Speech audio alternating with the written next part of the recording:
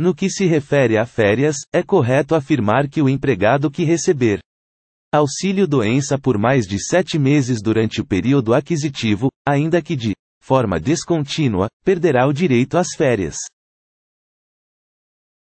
Analisando a questão, você responde verdadeiro ou falso?